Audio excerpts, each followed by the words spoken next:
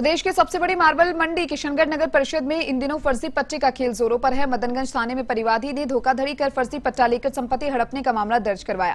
Police ने मामले की जाँच शुरू कर दी है। दरअसल शिवाजी नगर निवासी घनश्याम राठौर ने शिकायत देकर ये बताया कि इसके स्वामित्व का भूखंड पंडित फतेहलाल नगर में है, जिसका फर्जी पट्टा बनाने के लिए आरोपी घनश्याम टांक ने साजिश रची है। इधर फर्जी पट्टे का मामला सामने आने के बाद परिषद के आयुक्त मामले की पूरी तरह से, मामले को पूरी तरह से दबाने में जुटे हैं।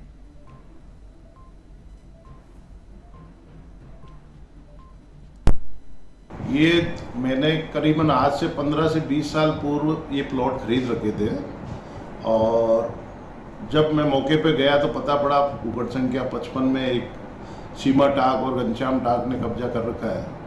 और भूखंड संख्या 50 में मनोहर देवी और उनके पति नाथूलाल ने कब्जा कर रखा है। इसकी जानकारी अभियुक्तों को भी थी और मुझे भी थी।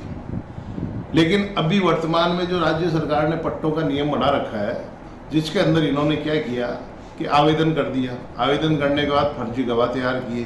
फर्जी गवाह तैयार करके अपनी फ़ाइल को पुटअप किया, जिसमें ड्यूटी बनती है कर्मचारियों की, पटवारी की, कि वो मौका देखे और मौका देखने के बाद में उनका पट्टा जारी करना है या नहीं करना है। ये ऐसा सिस्टम सरकार